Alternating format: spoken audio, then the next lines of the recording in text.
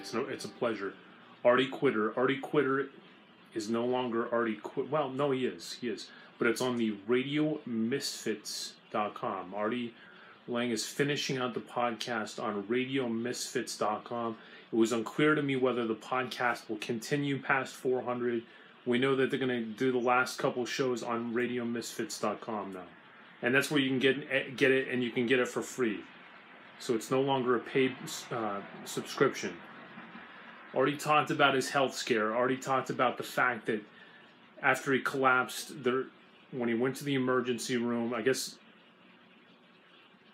originally he didn't go to the hospital. He was uh, picked up by Dan from the W Hotel that where he was staying, brought to sorry, brought to the hospital. Eventually, eventually underwent something close to open heart surgery, where a pool, a mix of heroin and cocaine, was indeed removed from his chest. So uh, that was the situation there. Artie didn't talk about a future podcast.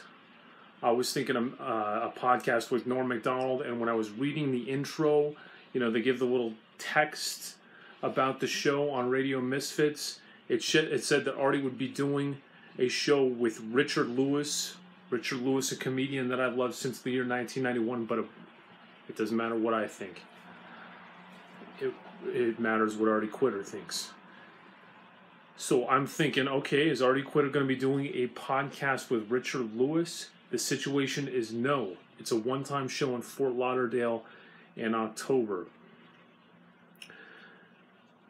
Um, so I guess he hasn't started filming for Crashing yet. That's something that's going to come. Artie, Artie uh, sounded better. He sounded better. The nose, I don't, you know, they did the open heart surgery. I don't know if it affected. Obviously, he has, you know, it's more clear inside the chestal region, but I don't know if they did something with his nose also. When we saw that photograph photograph of him from the hospital bed, right, with the sunglasses on, he looked better. Did they do something with the nose as well? He wasn't. You didn't, hear that mucus as much. You didn't hear the sniffling. He sounded a lot better, so that's good news.